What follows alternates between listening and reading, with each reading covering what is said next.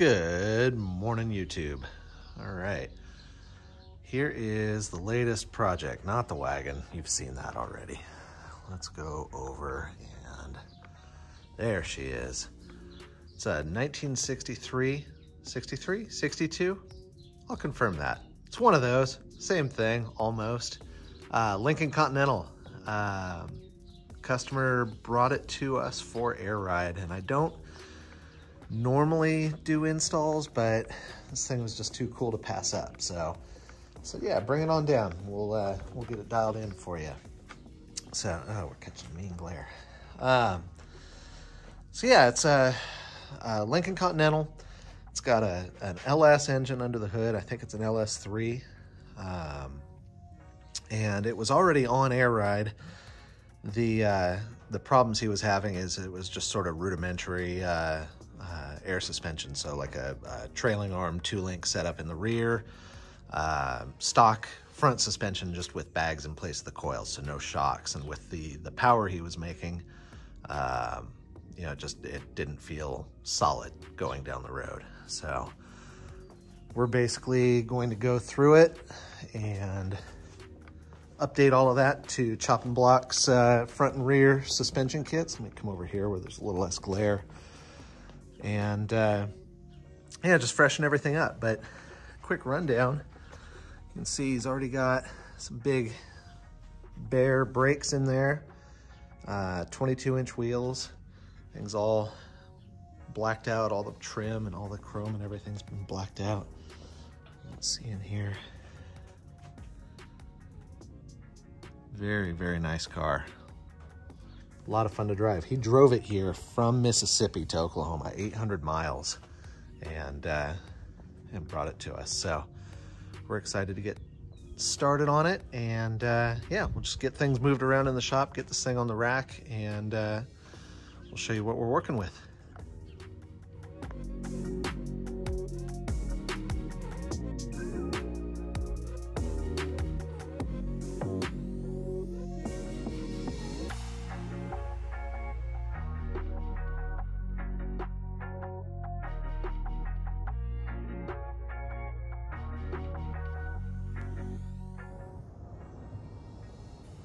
So with the brake out of the way, you can get a little better look at how this was originally bagged. Let me see if I can get some light in there.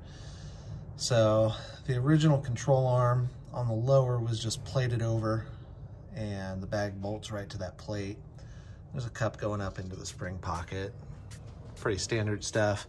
But the big issue with this, aside from worn out ball joints and yeah, those bushings are trash too, is there's no provision for a shock. So that leads to a really bouncy ride on the front. And with the LS3 under the hood on this thing, it just, you need a shock. Um, additionally, with the, the Choppin' Block setup, the original radius arm that goes up to the mount right there, we've actually got it pulled off here. Um, so that bolts to the lower control arm on that end. And then over here, we've got a bushing with this bracket that mounts up to the, uh, to the frame. And it triangulates the lower arm, keeps it from uh, shifting forward and backwards when you hit the brakes and all that. Um, so the downside to this one, these work fine for you know static suspensions, but this bushing, this pair of bushings right here, as the suspension cycles up and down, that has to be loose enough to pivot. Um, and what happens is when you go super low, like with a bagged vehicle, um, that basically gets into a bind, uh, or you have to loosen it enough to not bind, and then you've got sloppy handling. So, couple issues that we're going to be addressing with the uh, the new suspension. So, we'll get the rest of this off in just a bit here. Um, we've got new tubular upper and lower arms. I'll do uh, I'll take some video of those before they go in and point out a few things. Looks like steering components have been replaced more recently, so that's good. They're all in good shape. Nothing really, nothing else under here to be worried about. No big rust issues or any of that. So yeah, stay tuned. We'll uh, get it to the next step.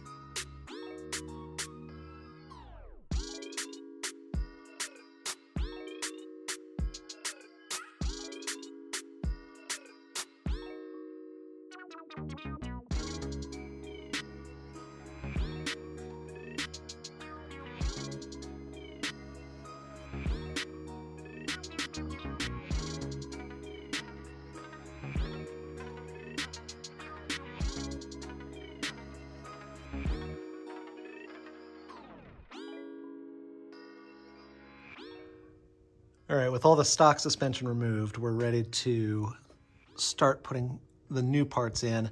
There's a few things that have to be prepped before you just start bol bolting the control arms and bag and everything back in. So the first is we've got the new shock mount. And you can see that it picks up these two bolt holes that are already there. We're gonna have to drill those out a little bit and then add uh, nutserts, which are included with the kit. And once those are positioned, we'll mark and drill this hole down here. And then there's two more up there that we'll have to drill and, uh, and put nutserts in. And that'll secure the shock mount.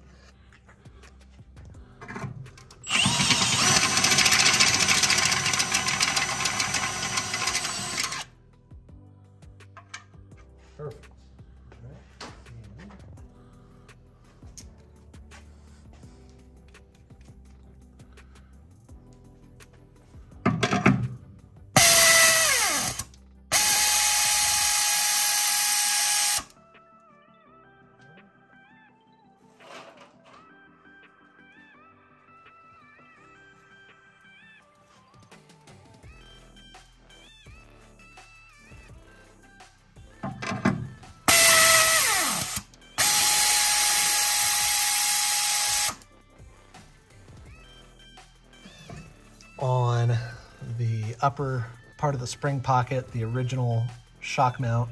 We're gonna be unbolting the side that unbolts, which is this guy, uh, and we'll leave this one. There's a, a, plate that goes across the top and, and spans that hole so that we can mount the upper cup through it. It holds it in place.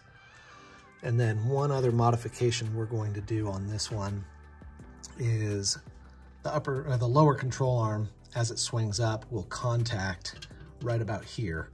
So we're gonna loosely bolt the lower arm in, mark that area, and we'll be trimming that off. And then this guy right here is all gonna come off. So it extends into the spring pocket. So we just have to trim inside there along the weld. And then right up here, oh, try and focus it, along that weld. And then there's a couple spots right here where it wraps around. So we'll clearance that stuff, get that bracket out of the way, and then just touch those areas up with some paint, and we'll be good to go.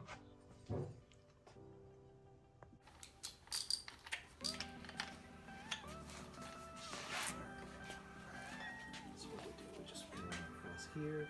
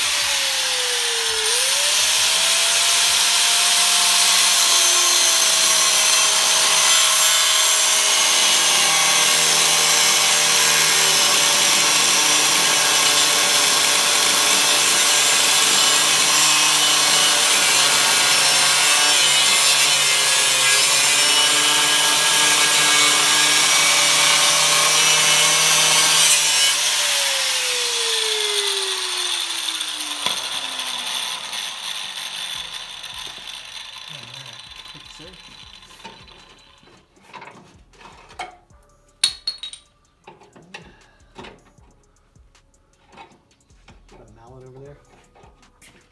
I don't see the rubber one. Ah, that'll work. Thanks.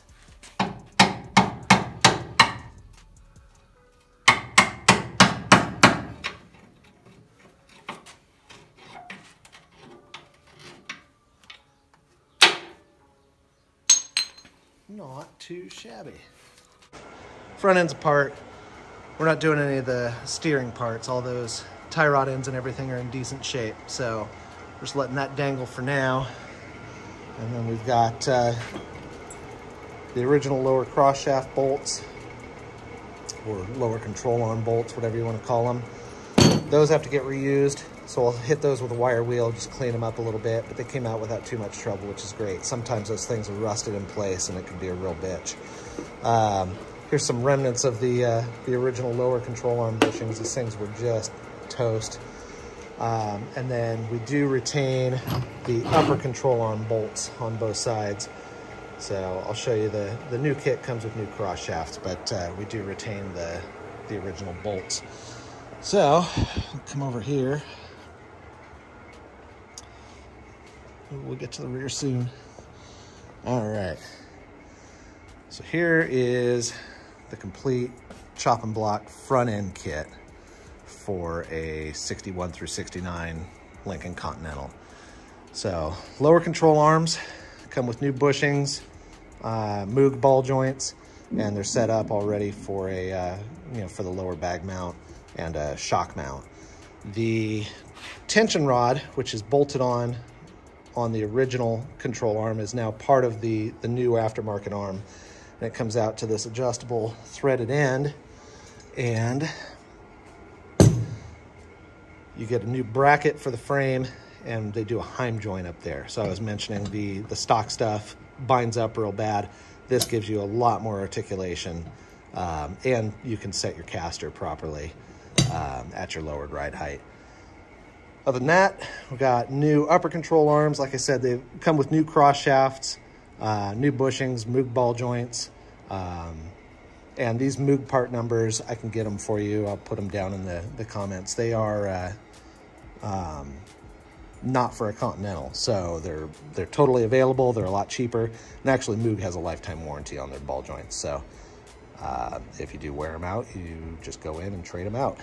Um, Choppin' Block kit also comes with new uh, upper bag cups and these bolt-on upper shock brackets, which I'll show you how those go in, and a new pair of KYB shocks, and then they include all the, the hardware and everything. So lower shock studs, and then uh, nutserts and hardware to mount the upper shock mounts. So as far as hardware you're gonna be reusing, you've got the upper control arm bolts where they go through the cross shaft, um, the lower control arm bolts, you'll be reusing those where they go through the cross member. And then on the, uh, the tension rod bracket, or whatever you want to call it, at the front under the radiator support, you'll be reusing those bolts that go through there and hold those brackets on. Aside from that, it's all new. So let's set up the tripod and we'll get started on putting this thing together. I'm going to turn the heater back on.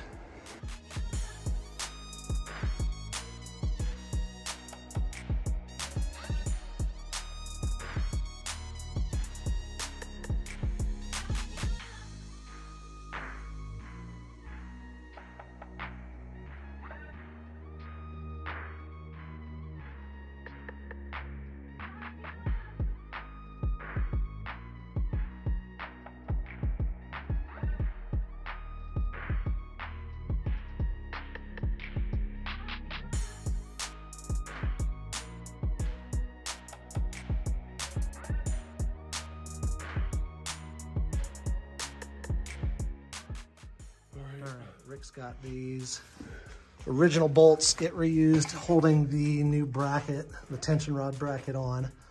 And then the Heim joint is adjusted just right to where everything lines up when the, the control arm's sitting basically at ride height.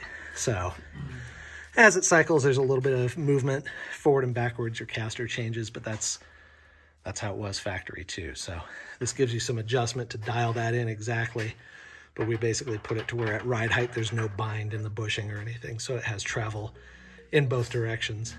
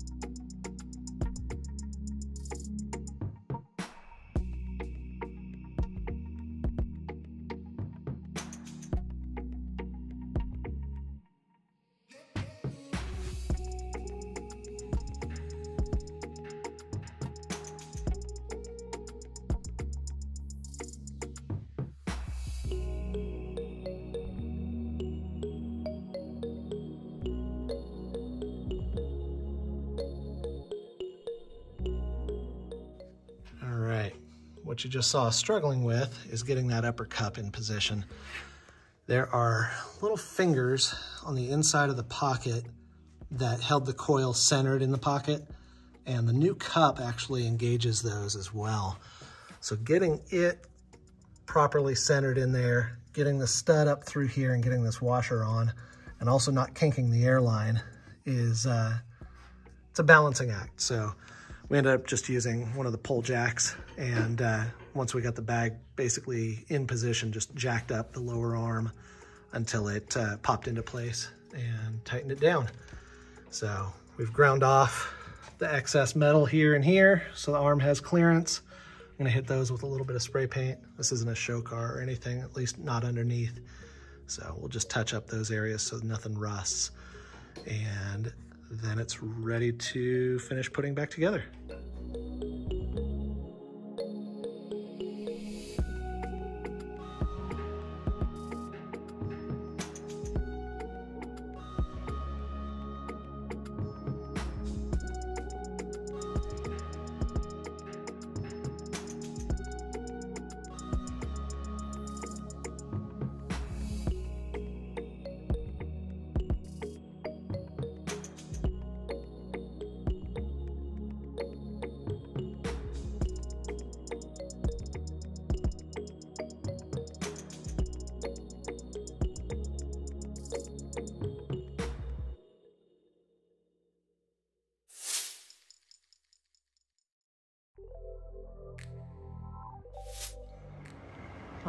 Front end basically done, we are moving to the rear.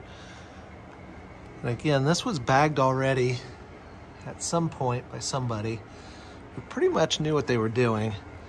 This isn't a real elegant solution, but it's solid. Doesn't have any major issues. The big deal is that it's a two link. Um, so it has no articulation. It puts everything in kind of a bind anytime you go up a driveway at an angle or anything like that. Just, you know, the pinion angle doesn't, uh, it changes dynamically as, as the suspension cycles. It's just not ideal. Uh, so we're hoping to replace that with the Choppin' Block, uh, triangulated four link setup, uh, which will hopefully improve the ride quality, make it handle better, and if we're really lucky, it'll get lower too. So you can see this thing has a devious fuel cell in it. Hopefully we're not gonna have to mess with any of that.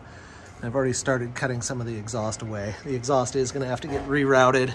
The cross member for the Choppin' Block system goes right in the way of where that's routed. So first step, we'll get everything disassembled and assess what we've got from there. And then uh, I'll get some video of us putting it back together.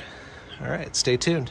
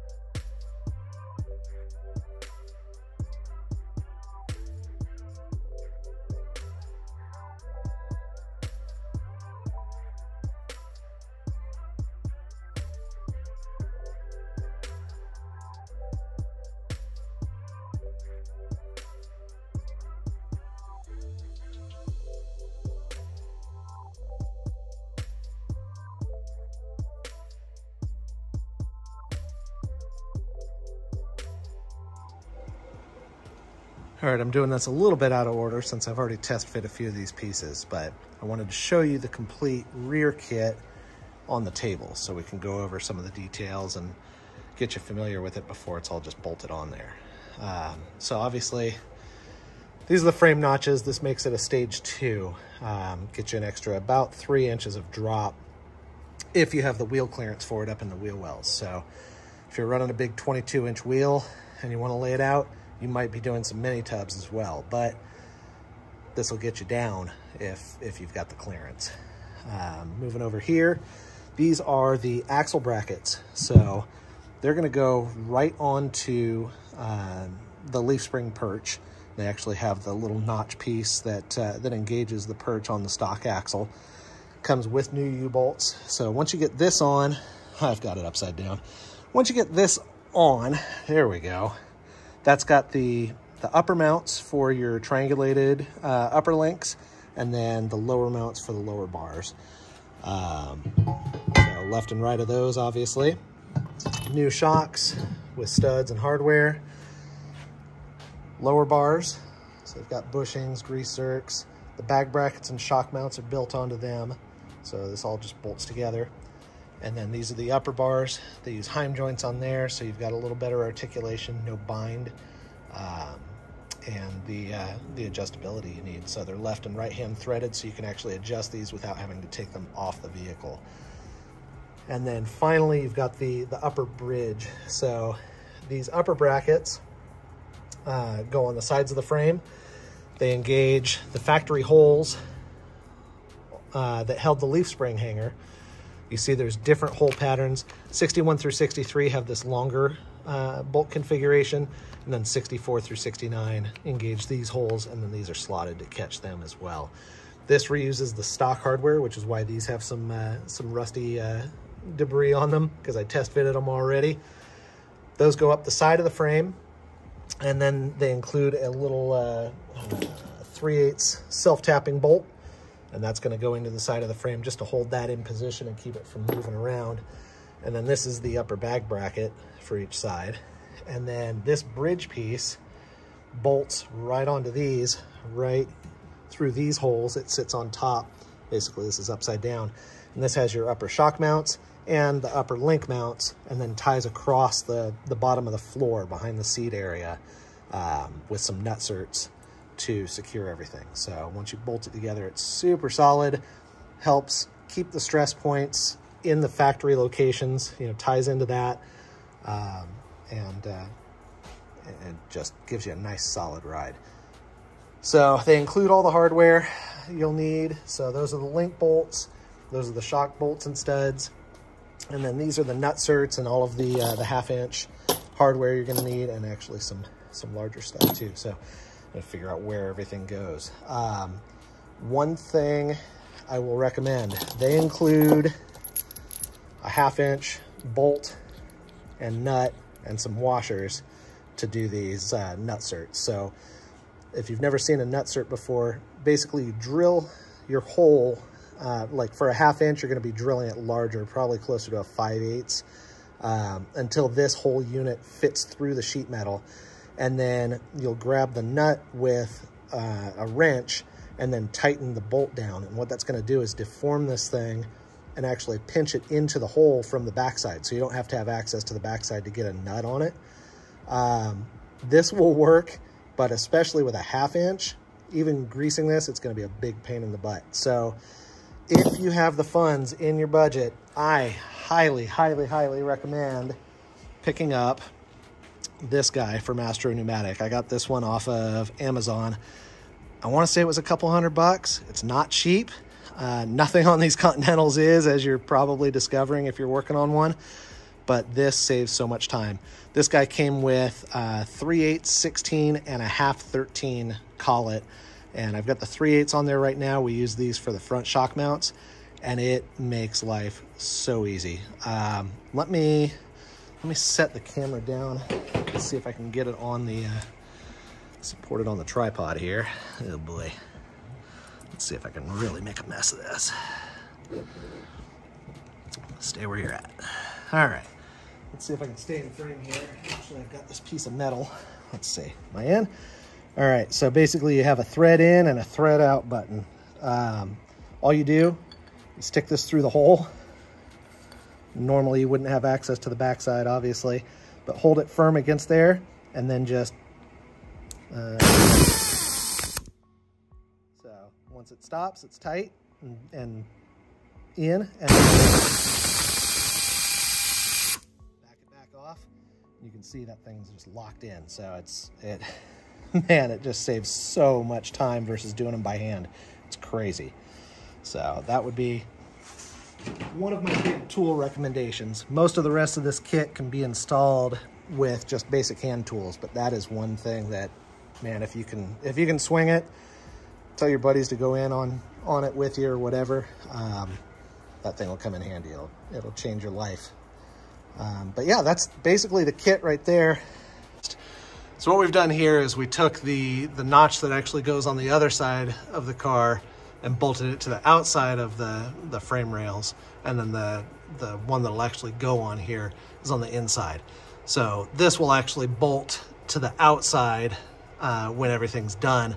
But this lets us basically bolt it in place with the two existing holes that are already in the frame uh, that were for the, the cross member that goes across.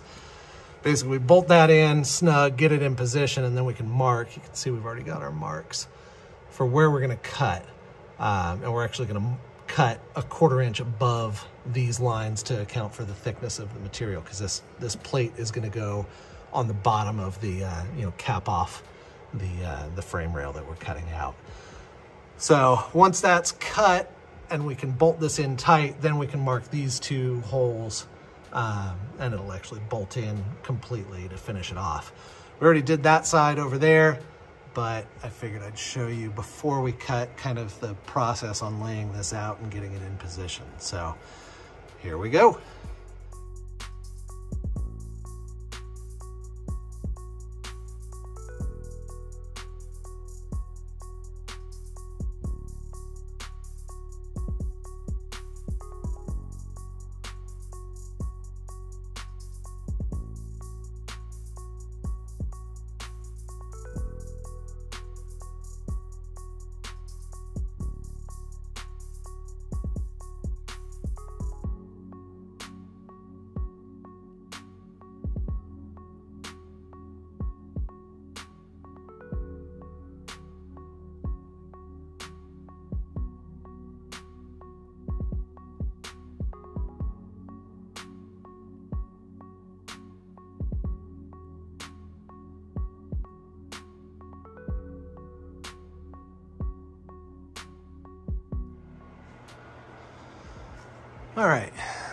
Notches are bolted in and we have bolted in, temporarily bolted in the side plates and the bridge plate.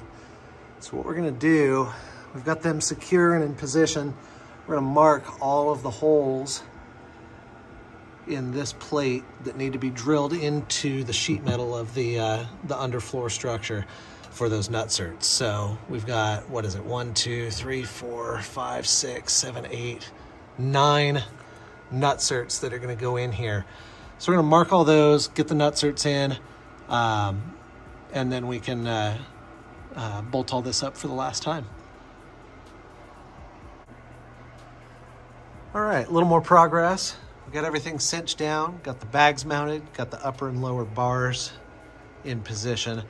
So really it's down to the axle and in a normal installation, we would just be keeping the stock axle in the stock location as we worked, but uh, this customer ended up buying a whole new axle from Quick Performance.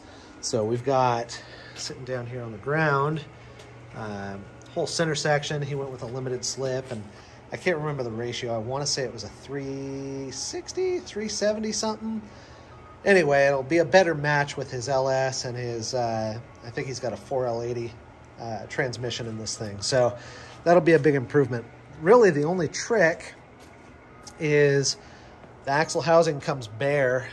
It's upside down right now, but he's doing a Ford 9-inch, obviously. Um, what we did was we designed some new axle perches um, that match the diameter of this new axle, which is a little larger than the, uh, the original stuff. And then this big old hole actually engages uh, the factory leaf springs and also the the brackets on the uh, the Choppin' Block kit. So if you look in here, there it is. So that'll rest right in there. Leaves uh, the U-bolts on either side will cinch everything down and then we'll be dialed. So all we had to do on the original axle, we uh, we measured the pinion angle uh, off of the the brackets, you know, compared to the brackets.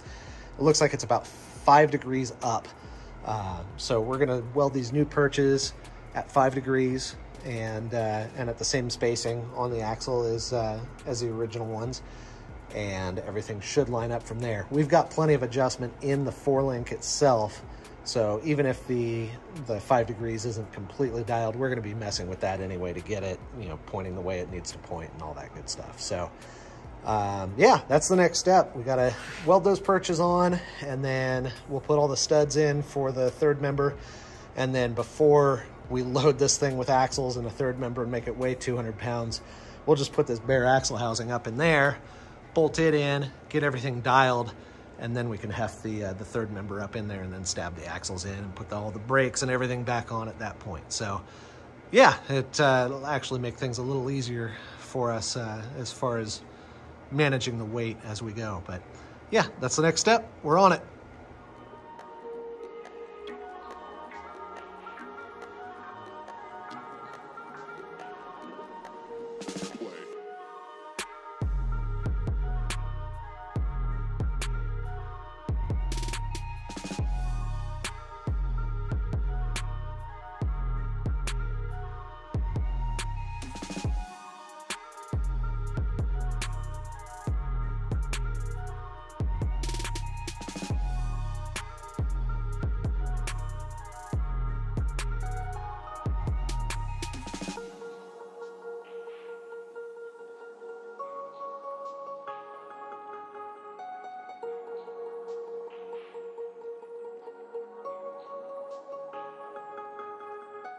Fresh new day.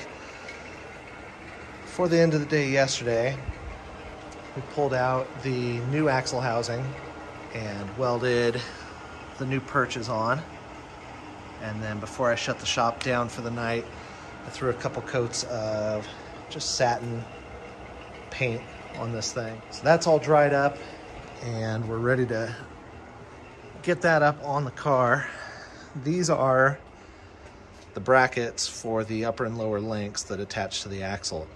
So to prep those, Choppin' Block makes them with two different size, um, basically they can accommodate the two different size axle uh, tubes that Lincolns come with. Some of them have three inch, some of them have three and a half or three, three and a quarter, I believe. Um, so the original one was a three inch and these fit fine like this but the new axle housing has a little bit thicker uh, axle tubes. So all we have to do is just grind down these little perches right here, make them flush with the, the rest of the, the half circle, and then this will drop right on. So I'm gonna knock that out real quick and then we'll get these bolted on, get this up in the car.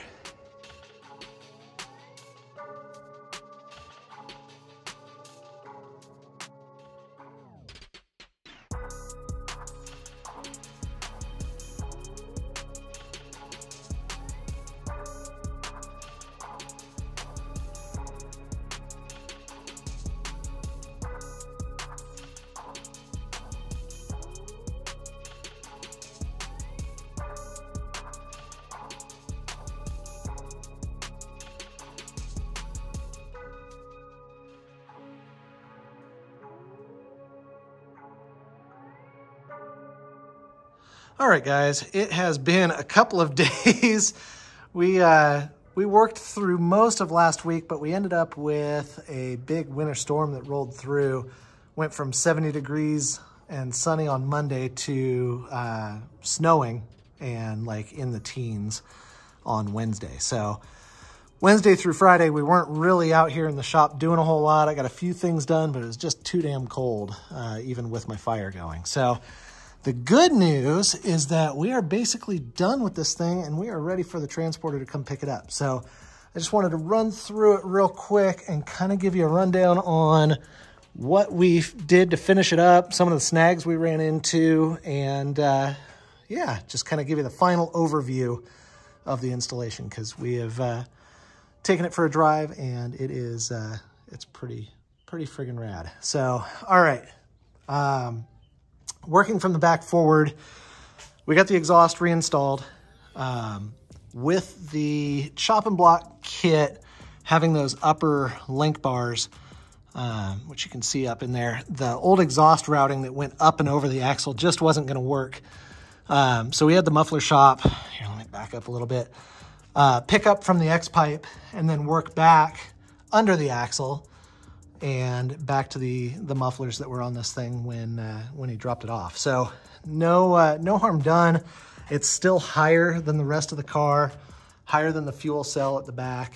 Um, so there's nothing, you know, no worry about it contacting anything.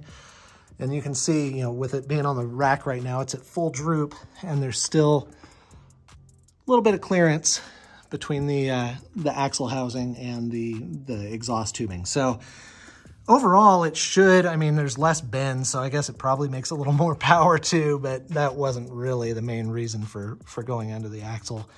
Obviously, if he ever needs to drop the axle completely for whatever reason, I mean, it's brand new, so hopefully that won't be the case. Um, but if he did, that uh, that would require uh, you know cutting and flanging the exhaust at some point. But for our uh, for our purposes, that wasn't necessary um, to add those flanges. So uh, rear end, we got all the, the Baer brakes reinstalled on the, the new rear end. No drama there. Everything went smoothly. We got them bled out, um, and that, that all went fine. The only snags we ran into were, um, I don't know if I covered this already. The drive shaft had to be lengthened, um, so that was an un, unwelcome surprise, but thankfully we've got a, a pretty kick-ass drive shaft shop not too far from here. So we're able to get a new drive shaft made with the correct uh, rear U-joint.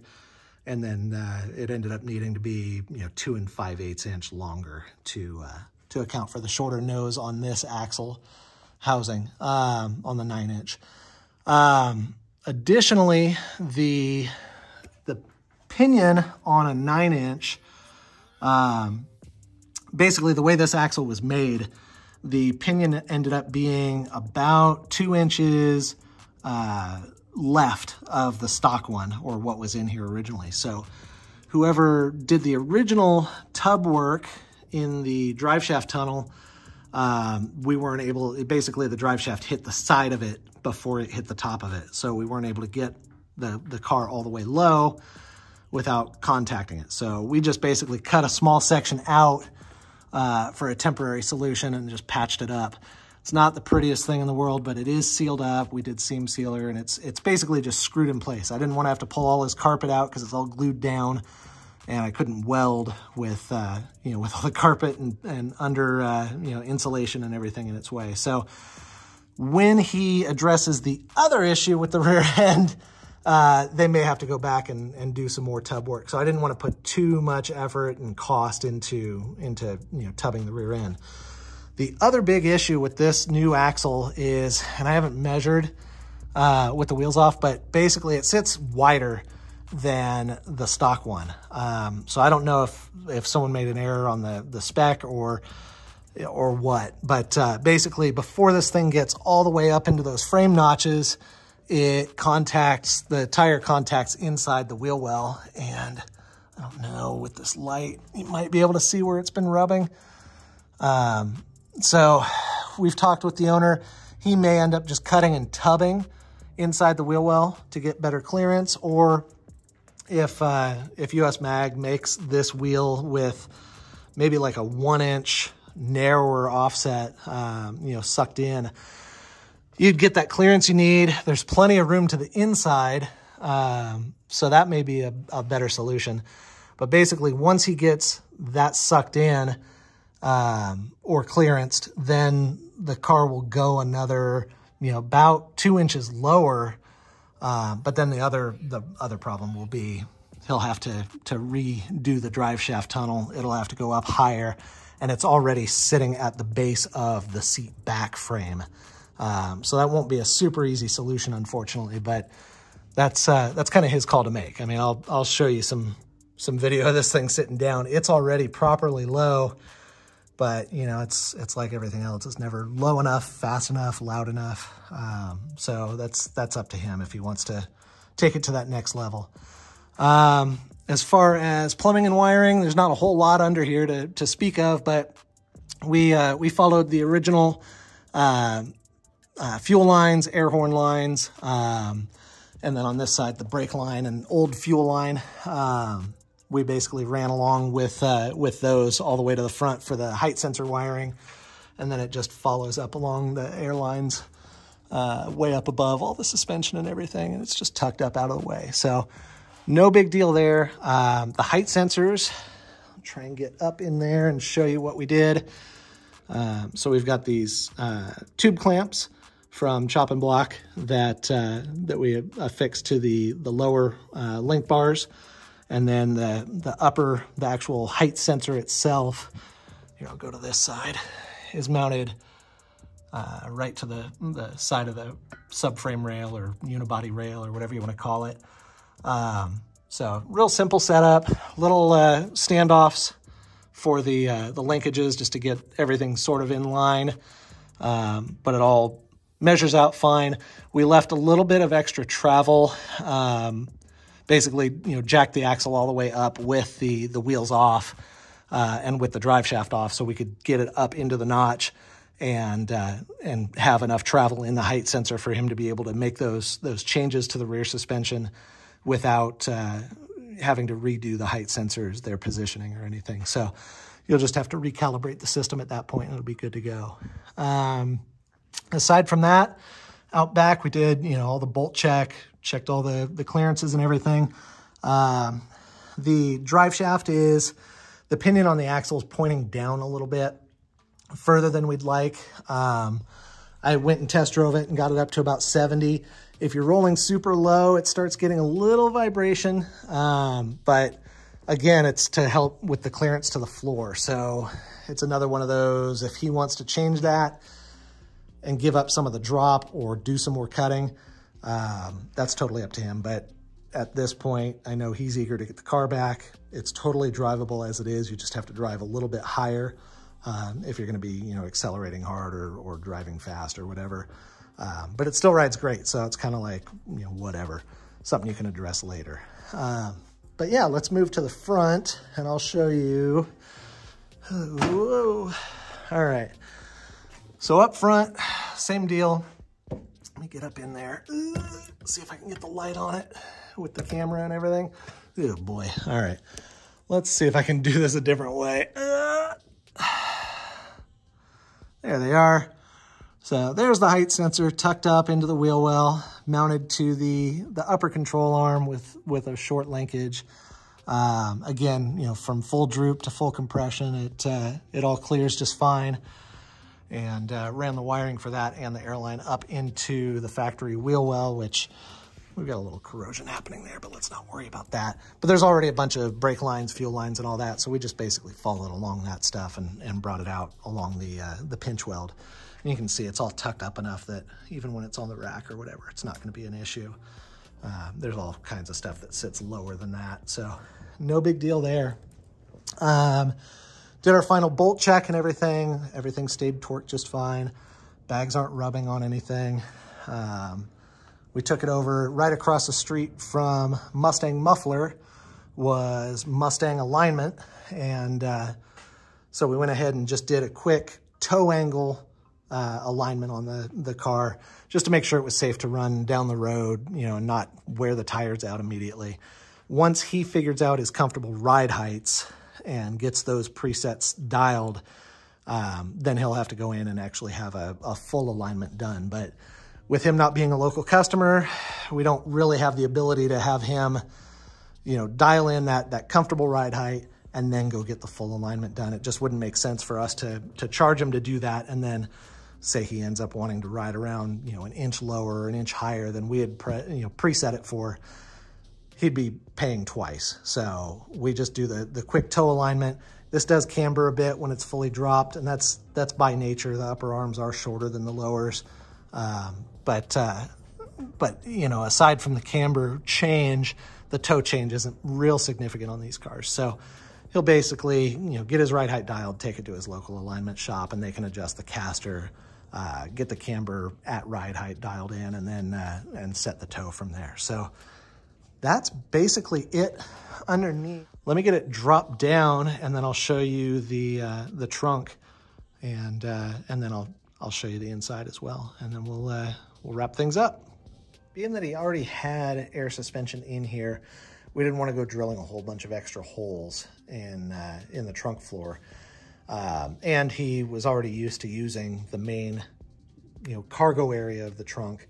So we wanted to kind of stick with where he had the original stuff. Um, so the main changes we made, obviously, he went from one steel tank, which I think was a, it's either a five or a six gallon, um, that was mounted back here. And then his 3P manifold was mounted there. And then you can still see the bolt holes from the two Viair 444s that were mounted straight to the floor. So what we did instead is I had this laser cut panel made uh, with these gussets. Basically, it got formed right along this seam uh, at a 90 degree, and the tank, the first tank mounts right to the original footprint of the steel tank he had in there. So we, we picked up those same exact bolt holes, uh, although I threw some, uh, some nutserts into the trunk floor. Um, so it's a little easier to install. Um, and then the compressors are actually hanging sideways above on the top of the bracket. Um, so you can kind of see how they're mounted up in there. And we went to uh, we went with two Viair 485 C compressors uh, with two five gallon tanks. So it's a pretty good match. You know, this, this car's heavy. It uses a lot of air. Um, so he's got a lot on, on reserve and then the 485s are totally up to the task of filling the, the two tanks back up. Um, the manifold we just remounted in the same uh, location that it was.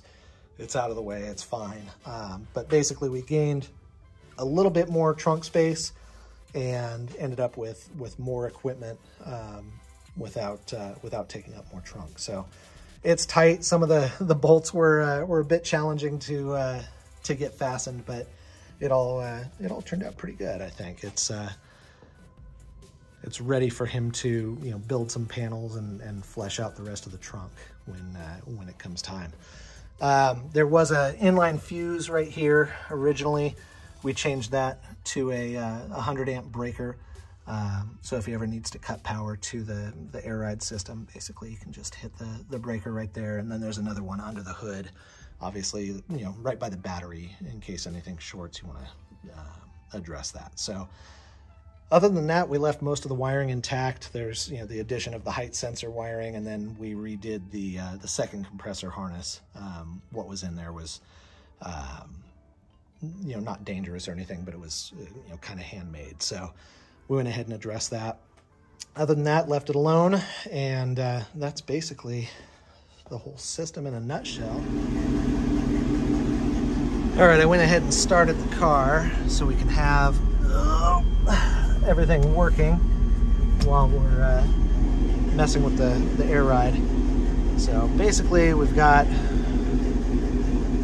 the same controller as you're used to seeing. It's a, a 3P, 3H system. So we've got our, our low, regular, and then high ride settings, individual controls for all four corners, and then an all up and an all down uh, control. So get it off the rack here, I'm just gonna go ahead and put it on the, the highest setting. And with the height sensors, it's going to read and adjust. Once it stops blinking, we know we're, we're dialed in. So there you go. And that should allow me to move the rack arms. There we go.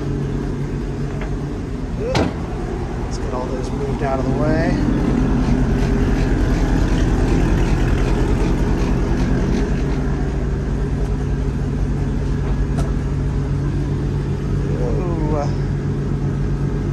There we go. And if we're living life right, should be able to drop this thing. Let me set the, the camera down at a good height here. Oh. Let's see. How's that look? All right. Let's walk over there and hit that down.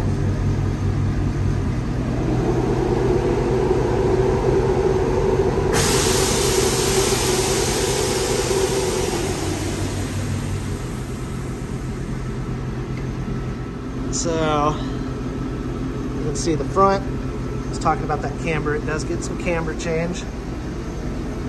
But the front is as low as those wheels will allow. And we are uh, basically resting on, the exhaust is resting on that, uh, that cross member of my lift. And then out back, take you around. And it's, uh, it's pretty dang low.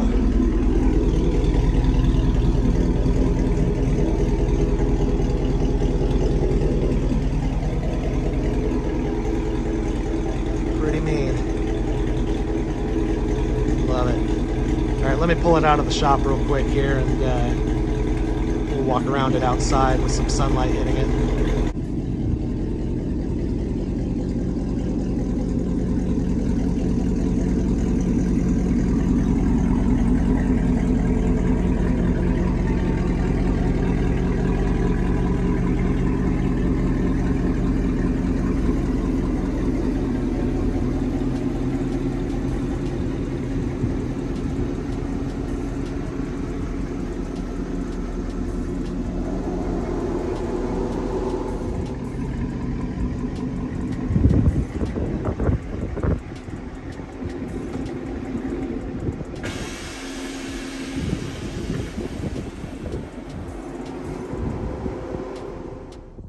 I don't remember if we showed you under the hood of this thing, but that is a, uh, a lovely LS engine swap.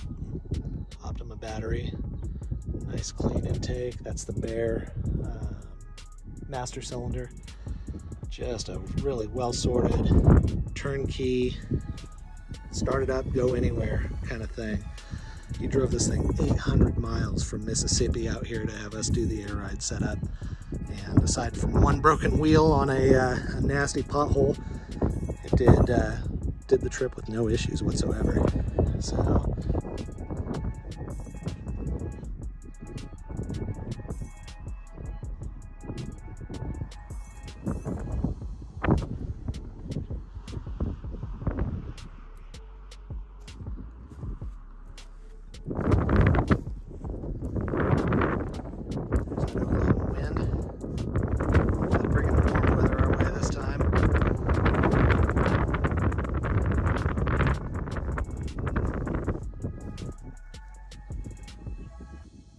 About it. I gotta put the back seat bottom back in and load this thing up with all of his old air ride parts. And the transporter should be coming to pick it up here either tonight or tomorrow. So I get to go through all this footage, try and turn it into a video that isn't two hours long and boring as hell.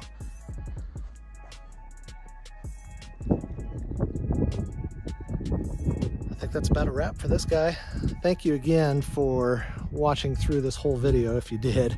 If you wanted to skip around and just catch some of the highlights on the suspension, I totally understand. No hard feelings whatsoever. We will be addressing the wagon soon in another video. We've got some updates on it and getting it ready for uh, LST here in a few weeks.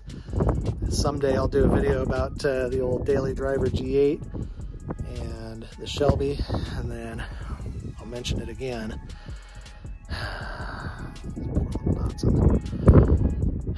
Well, at least we have a deadline for it now. It's got to be ready by summer.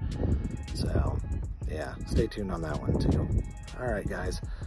As always, thanks for watching. Like, comment, subscribe, you know, the whole YouTube rigmarole. Uh, thanks so much.